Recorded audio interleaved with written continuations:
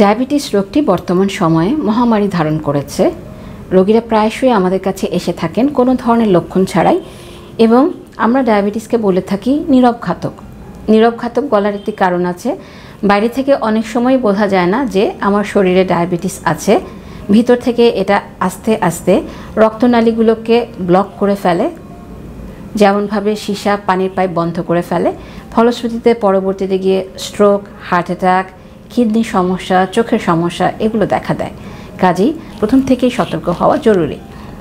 কীভাবে বুঝবেন আপনার ডায়াবেটিস হয়েছে এবং কখন আপনি ডায়াবেটিস পরীক্ষা করবেন? কিছু কিছু ক্ষেত্রে আমরা রোগীদেরকে ডায়াবেটিস পরীক্ষা করতে পরামর্শ দিয়ে থাকি, যেমন হঠাৎ করে মুটিয়ে যাওয়া বা হঠাৎ করে ওজন কমে যাওয়া।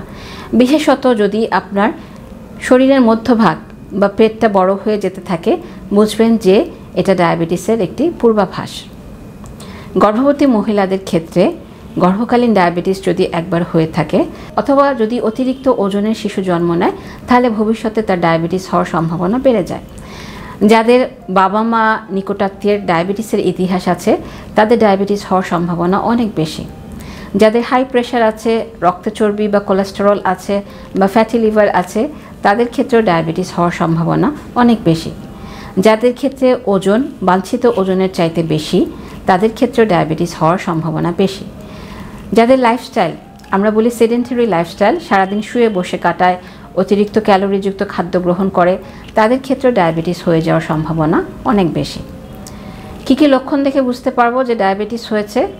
ঘন ঘন পিপাসা পাওয়া, গলা শুকিয়ে যাওয়া, বারে বারে প্রস্রাব হওয়া, চোখে ঝাপসা দেখা, মাথা ঝিমঝিম করা, কোথাও কেটে গেলে ঘা শুকাতে দেরি হওয়া কোনো ধরনের কোনো ইনফেকশন হলে সেটা সারতে দেরি হওয়া বা একই ইনফেকশন বারে বারে হওয়া, যেমন বারে বারে কারও প্রস্রাবের ইনফেকশন হচ্ছে, এগুলো সবই ডায়াবেটিস রোগের লক্ষণ হতে পারে। হাতে পায়ের তালুতে ঝিমঝিম করা, এটা ডায়াবেটিসের একটি জটিলতা, সরাসরি রোগীরা এই জটিলতা নিয়েও চলে আসতে পারেন এমনকি চোখে ঝাপসা দেখা বা সরাসরি হার্টের বা কিডনির রোগ নিয়েও ডায়াবেটিস ধরা পড়তে পারে। কাজে যেহেতু এই রোগ বেশিরভাগ ক্ষেত্রেই তেমন কোনো লক্ষণ উৎপাদন করে না কিন্তু এই রোগটি শরীরে থাকলে আমাদের বিভিন্ন রকমের ক্ষতি হতে পারে। আমাদের সবাইকেই এই ব্যাপারে সচেতন হতে হবে এবং যে সমস্ত ক্ষেত্রে ডায়াবেটিস নির্ণয় করা জরুরি, আমি পরামর্শ দেব আপনারা অন্তত বছরে বা তিন বছরে একবার ডায়াবেটিসটা ডাক্তারের কাছে গিয়ে নির্ণয় করার ব্যবস্থা করবেন। তাতে আপনারা এই মরণ ঘাতক থেকে নিরাপদে থাকতে পারবেন। এই ব্যাপারে আপনাদের সাথে আরেকদিন বিশদ কোনো আলোচনা করব। আজকে আমাদের আলোচনা এই পর্যন্তই থাকুক। আপনাদের প্রশ্ন থাকলে আপনারা আমাদের কাছে চেয়ে পাঠাবেন। আমরা অবশ্যই উত্তর দিতে চেষ্টা করব। সে পর্যন্ত আপনারা সুস্থ থাকুন, ভালো থাকুন। আল্লাহ হাফেজ।